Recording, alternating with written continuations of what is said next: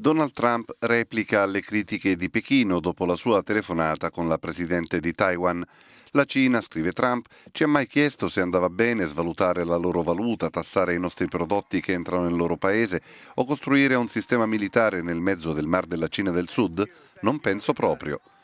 Alla conversazione telefonica tra il presidente eletto degli USA e la sua omologa di Taiwan, la Cina ha reagito con durezza, avanzando una protesta per i canali diplomatici. Il principio di una sola Cina è generalmente riconosciuto dalla comunità internazionale, afferma Pechino, che invita Washington a trattare adeguatamente con cautela la questione di Taiwan per prevenire scossoni inutili alle relazioni tra Cina e Stati Uniti.